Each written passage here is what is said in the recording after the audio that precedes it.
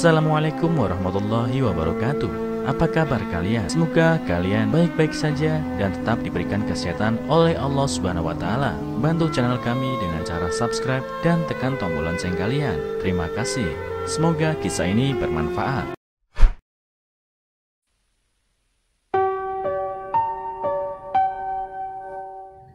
Bocah di Tiongkok yang lahir tanpa jari kiri memberitahu orang-orang bahwa dia kehilangan jarinya untuk melindungi ibunya.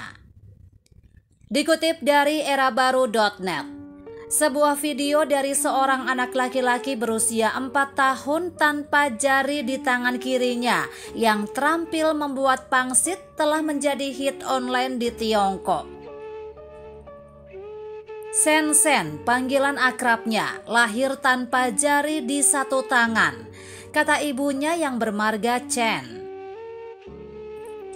Namun, dia telah berhasil mengatasi kesulitan yang disebabkan oleh kecacatannya dan mampu melakukan tugas sehari-harinya seperti berpakaian, mengupas buah dan kulit telur, serta mengancingkan mantelnya, kata ibunya kepada Yanse Evening News.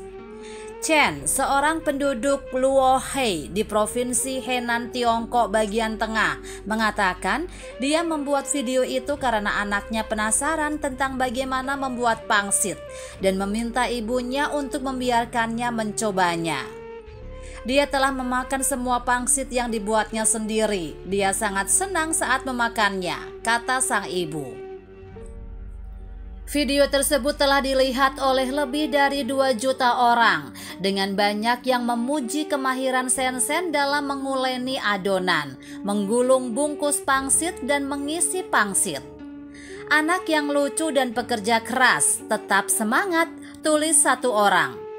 Chen mengatakan dia dan suaminya merasa bersalah atas kecacatan fisik Sensen. Bocah itu lahir untuk kita, tapi kami tidak memberinya tubuh yang sehat. Kami sering merasa sedih tentang ini, katanya.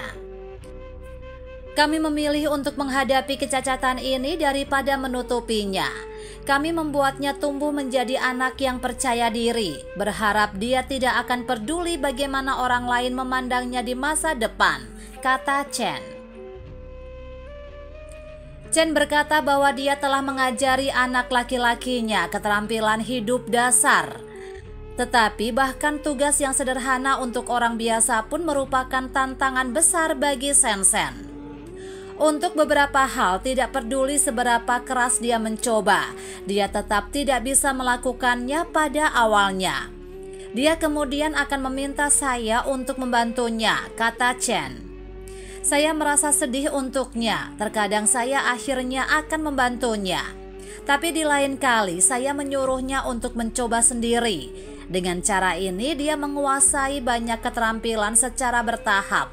Begitu dia bisa melakukan sesuatu, dia tidak akan mencari bantuan lagi dan dia suka melakukan sesuatu sendiri. Ketika bocah itu mulai masuk taman kanak-kanak setahun yang lalu, banyak teman sekelasnya yang memandangnya aneh. Dia mengatakan kepada teman-temannya, "Tangan saya terluka saat berperang melawan dinosaurus untuk melindungi ibu saya." Beberapa anak akhirnya mengagumi Sensen, kata ibunya. Chen mengaku sering mengunggah video keseharian anaknya di media sosial. Dia berharap perhatian itu akan mendorongnya, tetapi mengatakan dia tidak ingin merasa kasihan padanya karena anakku tidak sengsara, katanya.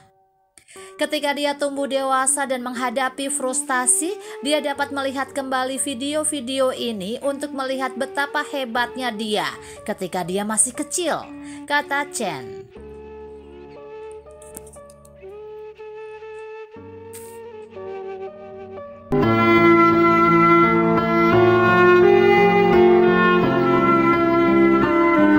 Assalamualaikum warahmatullahi wabarakatuh Apa kabar kalian? Semoga kalian baik-baik saja dan tetap diberikan kesehatan oleh Allah Subhanahu wa taala. Bantu channel kami dengan cara subscribe dan tekan tombol lonceng kalian. Terima kasih.